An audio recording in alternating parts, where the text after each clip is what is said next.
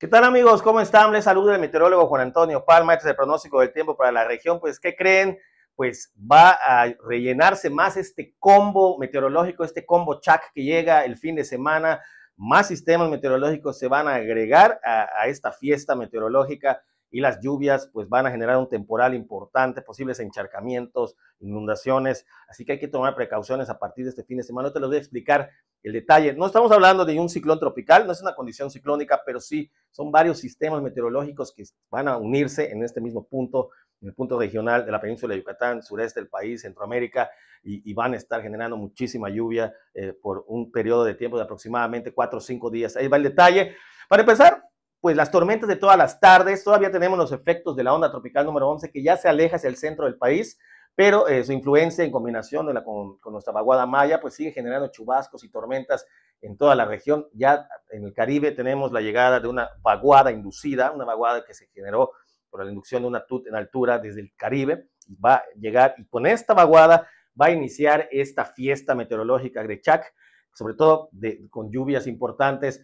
Aquí está el pronóstico eh, para este día jueves, eh, lo que les comentaba, vamos a tener ya sobre la región peninsular una vaguada en nivel medio de la troposfera y esta vaguada va a interactuar con nuestra vaguada natural, la que se forma todos los días, nuestra vaguada maya, y va a empezar a generar lluvias, tormentas eléctricas de manera dispersa, pero ya empezando a generalizarse un poco más. Ya la extensión de las tormentas va a ser más amplia, no va a ser tan dispersa ni tan aislada como en días anteriores. Y vemos la llegada de esta nueva onda tropical a la región del Caribe Occidental. Esta onda tropical pues sería la número 12 y también vendría a agregarse eh, a, toda esta a toda esta zona y a todo este nuevo, nuevo temporal de lluvias que vamos a tener en la región. Aquí está el pronóstico para el viernes, ya la nueva onda tropical, posiblemente la número 12, se ubique sobre la península de Yucatán. Además, vamos a tener esta vaguada que llegaría desde el jueves y ya se movería hacia el occidente de la península, todavía generando efectos en la zona, pero a partir de este día es cuando se van a empezar a unir más sistemas. Primero,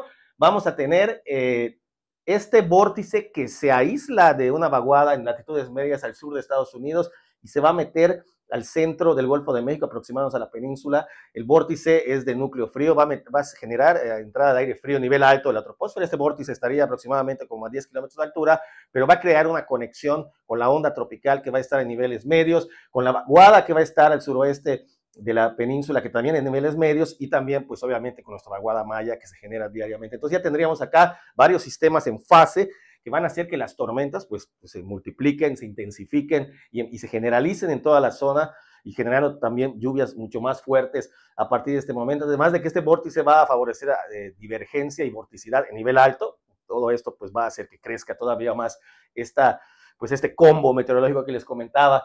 Eh, por si esto fuera poco, vamos a tener ahora, después de, de, este vórtice, también para este fin de semana, entre sábado y domingo, eh, la formación de una vaguada desde Centroamérica y el Pacífico, que pues va a ser pues de alguna manera jalada hacia, hacia nuestra región.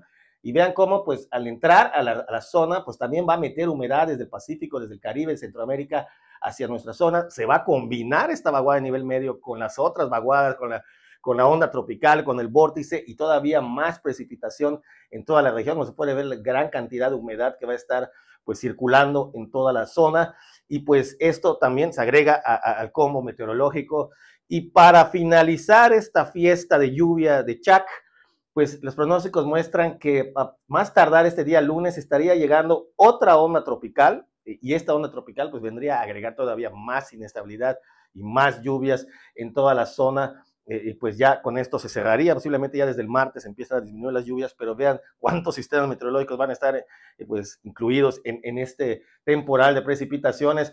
¿Qué tanto va a llover? Pues podrían darse lluvias puntualmente muy fuertes a intensas, generalizadas en toda la península. Esto incrementaría desde este día jueves hasta el día lunes el potencial de encharcamientos e inundaciones. Ya vieron más o menos junio que no tuvo ciclones, porque esto no crean que es un ciclón ni, ni un sistema eh, ciclónico. Es, son varios sistemas que se juntan, más o menos junio, vieron cómo empezaron las lluvias con fuerza, algo similar sería, no es un giro centroamericano tampoco, pero sí son varios sistemas unidos. Eh, y bueno, pues las lluvias van a ser generalizadas, eh, algunas intensas, se incrementan el riesgo de encharcamientos e inundaciones también urbanas, y pues También en algunas regiones se podría dar actividad eléctrica importante, que eso hay que tomar precauciones también. Y también en algunas zonas rachas de viento, turbonadas y hasta caída de granizo de forma aislada. Pero lo más importante es la fuerte inestabilidad que va a haber, la intensidad de las precipitaciones que pues van a dejar prácticamente un fin de semana pasado por agua. Pues ya lo saben, llega la fiesta de Chac con el combo Chac, con varios fenómenos meteorológicos que van a converger en nuestra zona. A tomar precauciones, les deseo un excelente día.